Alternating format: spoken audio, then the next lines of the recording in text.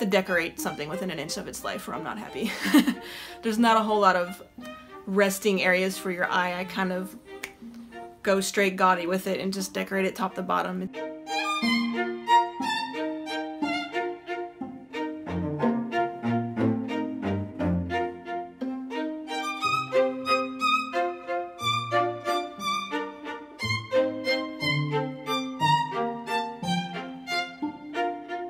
The inspiration for my work is always woodland. It's always things like seed pods, mushrooms, uh, decaying logs, regrowth, things you might find under a rock, things you might find growing under leaves or in a brush that you might skip over if you're not paying attention to where you're going. Just little things.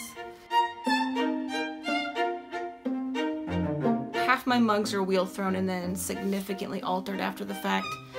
And then um, the other half of my pieces are just completely hand-built. I like to pinch the clay, put forms together to make mugs or vases um, or incense burners.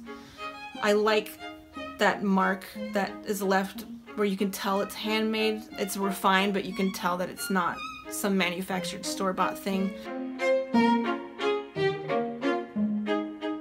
Anytime somebody says my work reminds them of like The Hobbit or Fern Gully or something like that, like my mission has been accomplished.